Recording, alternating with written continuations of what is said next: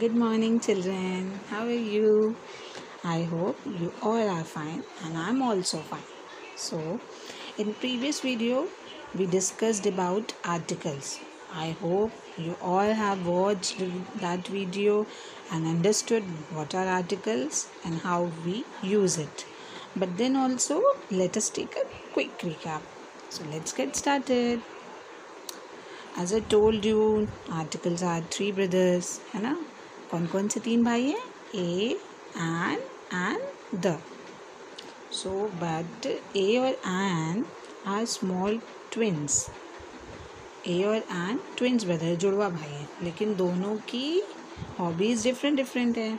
सो N जो है, उनको वही सॉन्ग सुनना पसंद है, जिनके सॉन्ग्स का फ़र्स्ट लेटर क्या होता है? Vowels so here are some examples apple apple ka jo first letter hai that is a.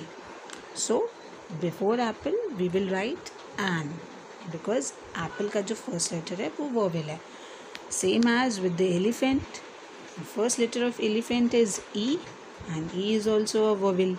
So we use an elephant. Ice cream. First letter of ice cream is i. I is also a vowel.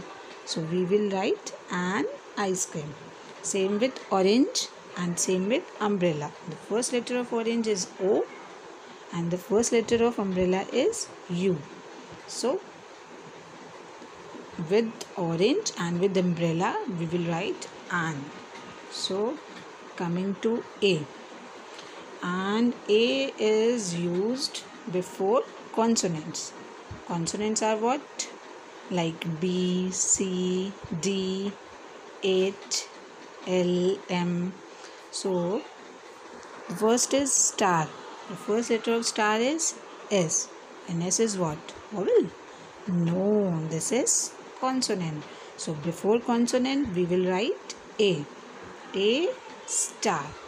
क्योंकि जो ए brother है उसको उन्हीं दोस्तों के साथ खेलना अच्छा लगता है जिनके नाम के फ़र्स्ट लेटर का क्या होता है कॉन्सोनेंट होता है so book also the first letter of book is B so we will write a book and same as with a child and a women also so I hope you all have learn it very nicely now coming to the क्योंकि हमने ए और N भाई के बारे में तो पढ़ लिया, लेकिन द जो कि बड़ा भाई है, अब हम उसके बारे में पढ़ेंगे।